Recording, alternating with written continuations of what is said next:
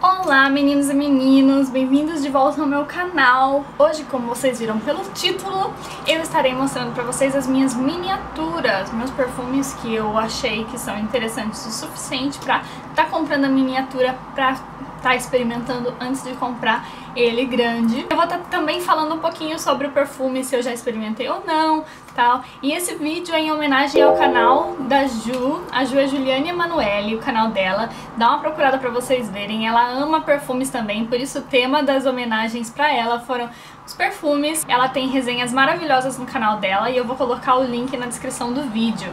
É, então eu vou começar. Tem 11 miniaturas, é, nem perto de uma pessoa que coleciona miniatura, tá? Porém, é, elas são, assim, bem interessantes, eu quero contar pra vocês. É, eu vou começar pelo Lauder Pleasure. Esse daqui é um floral feminino totalmente trabalhado, assim, muitas notas. Entre as notas de topo ele tem tuberosa, ele tem também pimenta rosa, bagas vermelhas, e muda muito na minha pele. Ele tem praticamente um buquê de flores, de tantas flores diferentes que ele tem. Eu vou colocar as notas aqui pra vocês verem. Mas ele é um perfume assim que me tem um cheiro assim meio antigo, sabe? Eu cheiro ele e não penso que é uma fragrância moderna. Eu acho que é a violeta que me dá essa coisa na minha imaginação, que eu imagino assim uma mulher um pouco mais velha, sabe? Usando ele, se maquiando assim de frente pro espelho e espirrando ele naquelas bolas. Eu penso assim nisso quando eu, quando eu sinto o cheiro dele. Eu acho que se você é doida por floral, vale a pena cheirar, tá? Vale a pena a experimentar. Agora o próximo é dessa marca que eu não sei falar nem o nome. Ele é uma gracinha, como vocês podem ver. É o Orla Kelly. Eu tô tendo que ler, tá, gente? Orla Kelly, de Orla Kelly. Perfume que eles intitularam com o nome da marca. E Gente, esse é um perfume totalmente interessante. Eu não tenho nada na minha coleção, mini coleção, que seja parecido com ele. Pra começar, ele tem bergamota, ele tem nota de chá, ele tem pêssego e ele tem figo. Gente, eu não tenho nada com nota de figo. Ele é muito interessante, assim, sabe? E depois outra nota bem interessante que ele tem também é chocolate mexicano, não é incrível? E apesar de eu não sentir o chocolate, mesmo quando ele evolui na minha pele, eu não sinto muito chocolate, eu sinto sim o cheiro de rosas e depois ele, ele evolui assim, ele fica um cheiro bem sândalo mascarado e ele tem também nota de fava tonka. Vale a pena cheirar pelo menos se você tiver opção. Agora eu vou passar para as miniaturas que eu tenho da Casa Lancôme. Eu comprei um kit no Natal porque Lancôme é uma marca que a gente vê que falam-se muito sobre os perfumes da Lancôme, né? E eu queria realmente estar tá provando, assim, ó, cheirando alguns deles, pelo menos. O que eu vou falar agora pra vocês é o La Vie Belle. É aquele perfume, assim, que ou você ama ou você não gosta. Eu acho que eu fiquei do lado do que não gosta, infelizmente. Eu acho que ele é um perfume muito forte pra mim. Eu vou dar uma breve descrevida nele pra você que não conhece o La Vie Belle. Tenha em mente que eu realmente não sou nenhuma expert, tá, gente? No topo ele tem groselha preta, que ela é bem gritante, sabe? A groselha preta e a pera. As notas do meio são mais florais, mas quando ele dá aquela secada na sua pele, aquela evoluída, ele tem o patchouli, que é bem forte. Eu acho que eu não gosto de patchouli. Eu notei que todos os perfumes que tem patchouli, eles ficam fortes demais pra mim. E ele tem patchouli, tem também a fava tonka, ele tem também pralinê e ele tem também baunilha. Ou seja, ele, ele soa muito bem, assim, sabe? Eu acho que pralinê e baunilha é absolutamente delicioso e eu normalmente gosto muito. Mas eu acho que foi o patchouli que deixou ele forte demais pra mim. Mas ele é um perfume muito gostoso, eu só não compraria ele grande, e, mas eu, é um perfume eu tô muito contente de ter ele na minha coleção de miniaturas, porque eu consegui provar ele várias vezes e ver como ele fica. Todas as vezes que eu provei ele me deu dor de cabeça e eu tô até com medo de ficar com dor de cabeça de ficar cheirando ele aqui pra vocês.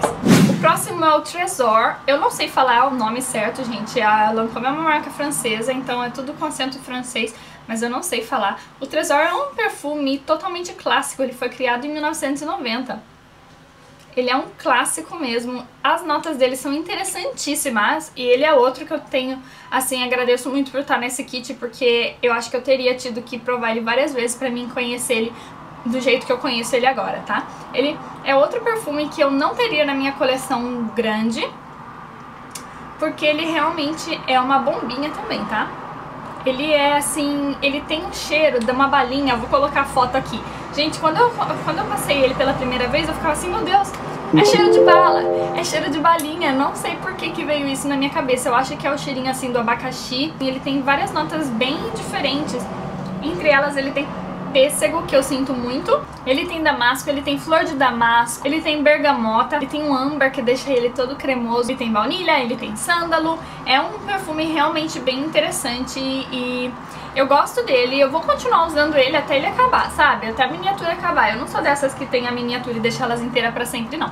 Eu vou usar ele, só que eu não...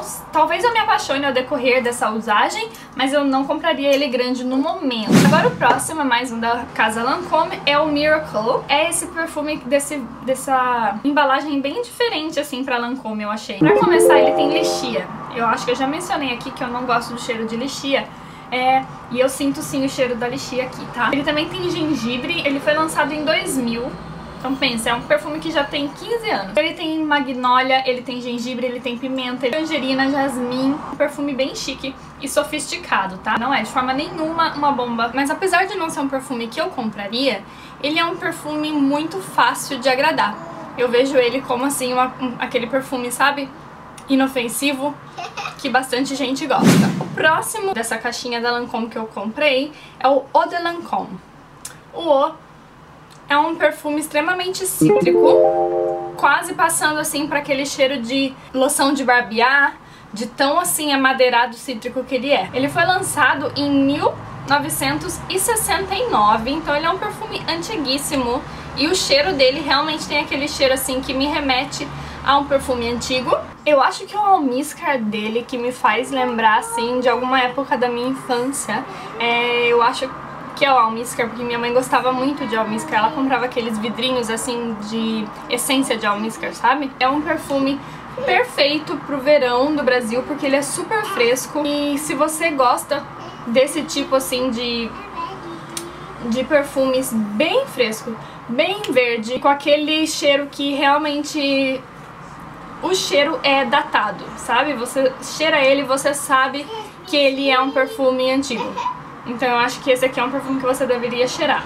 Dentre as notas do, do O, além de ter notas muito cítricas, como tangerina, limão verdadeiro e bergamota, ele também tem temperos, como coentro, que tem gente que odeia coentro, eu não sou muito chegada. Tem também manjericão, alecrim e depois a jasmim pra dar uma florada ali. Eu acho que as notas são bem diferentes mesmo. Acho que a Lancôme é uma casa que tem perfumes assim extremamente interessantes, né? E o próximo é o Tresor Midnight Rose. E dos cinco, esse aqui é meu perfume preferido dos cinco que vieram nesse kit de miniaturas. É, ele é muito gostoso, ele é um perfume bem doce. Ele é classificado como floral amadeirado almiscarado. Ele foi lançado em 2011. As notas de topo dele são framboesa e rosa. No coração ele tem jasmim, ele tem pimenta rosa. Eu vi gente falando sobre ele que acham que ele tem é, cheiro de bala sete belo por causa da framboesa. Tem gente que fala que é uma framboesa extremamente artificial, eu tenho que discordar. Uma framboesa extremamente suculenta, ela é uma framboesa que dá quase aquele azedinho pra... Eu sinto bem o azedinho assim, sabe? Pra, pra ele. E apesar de ter amado ele porque eu amei, ele é o meu favorito, ele me deu uma dor de cabeça muito forte. Eu acho também a embalagem dele muito linda, muito romântica. Eu gosto muito desse efeito do degradê da cor. E a pimenta rosa dele me lembra bastante o Senhorina.